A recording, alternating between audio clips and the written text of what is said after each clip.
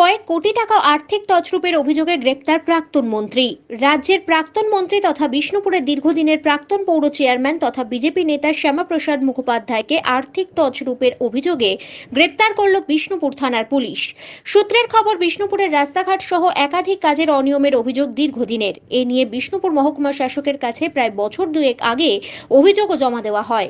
অভিযোগের ভিত্তিতে বিষয়টি খতিয়ে দেখার পর বিষ্ণুপুর মহকুমা শাসক প্রাক্তন মন্ত্রী শ্যামাপ্রসাদ মুখার্জির বিরুদ্ধে বিষ্ণুপুর থানায় অভিযোগ দায়ের করেন। এই অভিযোগের ভিত্তিতে রবিবার সকালে নিজের বাড়ি থেকে প্রাক্তন মন্ত্রী শ্যামাপ্রসাদ মুখার্জিকে গ্রেপ্তার করে বিষ্ণুপুর থানার পুলিশ। ঘটনাকে কেন্দ্র করে রাজনৈতিক মহলে শোরগোল পড়ে যায়। যদিও শ্যামাপ্রসাদ মুখার্জিকে এ বিষয়ে জানতে চাওয়া হলে তিনি জানান, আমাকে কোনো নোটিশ করা হয়নি এবং এ বিষয়ে তিনি কিছু জানেন না। পাশাপাশি তিনি রাজনৈতিক ষড়যন্ত্রের শিকার বলেও এদিন ইঙ্গিত করেছেন। পৌরসভা দুর্নীতি সংক্রান্ত নয় কি আছে। আপনাকে কি আগেও নোটিশ দেওয়া হয়েছিল? কোথা থেকে গ্রেপ্তার করল? বাড়ি বাড়ি কিছু কোনো রাজনৈতিক চক্রান্ত কি বলবেন। আপনাকে গ্রেপ্তার করল কিছু বলবেন এই বিষয়ে? গ্রেপ্তার করেছেন জানতে পারলাম নিয়ে এসছেন। এরপরে যে ফুটেজে বুঝতে পারব আমাদের। কি মনে করছেন? এটা কি রাজনৈতিক ষড়যন্ত্র হতে পারে?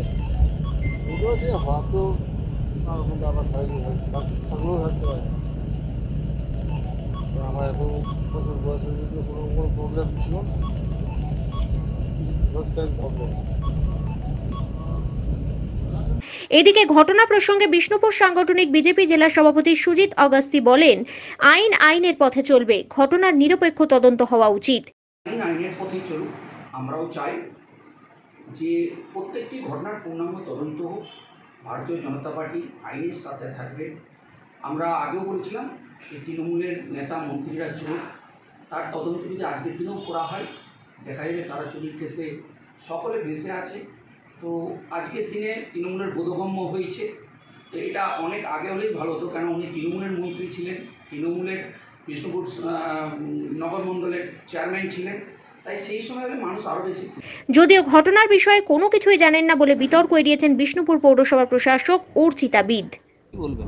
যেমন আমি আপনাদের মুখ থেকে শুনলাম। তিনি যে অভিযোগে গ্রেপ্তার হয়েছেন সেটা ভালো করে পুলিশ বলতে পারবে এই ব্যাপারে আমার কিছু জানা নেই। আর যেহেতু প্রশাসনিকভাবে আমি দুদিন বসেছি আমি সত্যি এই ব্যাপারটা কিছু জানি না গো।